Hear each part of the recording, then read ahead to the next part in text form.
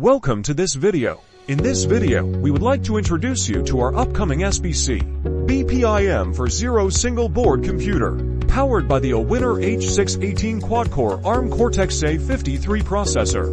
This 64-bit powerful processor has speeds up to 1.5 GHz and is paired with 2 GB LPDDR4 RAM and 8 GB eMMC flash memory to ensure outstanding performance.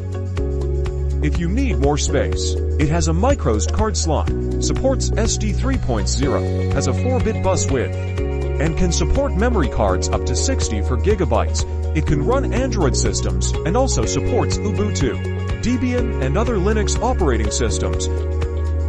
Its 40-pin layout is compatible with the Raspberry Pi 4B. It provides 28 GPIOs via a standard 2.5 for millimeters pitch 40-pin headers.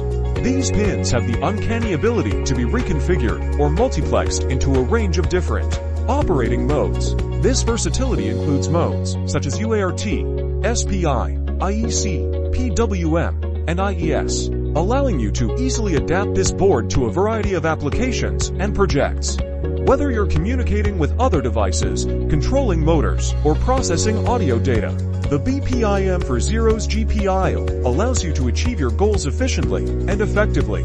To facilitate debugging, we provide a 2.5 for millimeters pitch 3-pin debug UART. Not only does it offer 2.4 GHz and 5 GHz Wi-Fi support, it also includes Bluetooth for point to capabilities, all thanks to its Wi-Fi and Bluetooth combo module. Simply connect the antenna via the IPEX1RF connector in addition, we have also reserved a 0.5mm pitch to for pin FPC, which contains a USB 2.0, infrared, 100 meters Ethernet, and several GPIOs. This board requires a high-quality USB Type-C power adapter capable of providing 5 volts 3 letters. If the downstream device consumes less than 500 milliamperes or consumes no current, a 5 volts at 2A power supply can be used.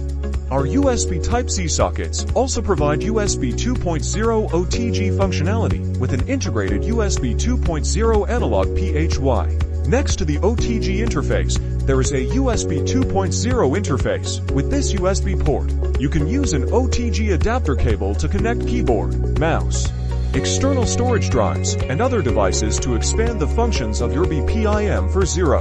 Through the mini HDMI 2.0A port, you can easily connect a monitor, which supports up to H to 165 for K60fps or H to 160 for 4K 30fps video decoding. Finally, we've included two buttons for your convenience, the reset button and the FEL button. Please follow our channel and Facebook. There are related links below the video. Thanks for watching this video.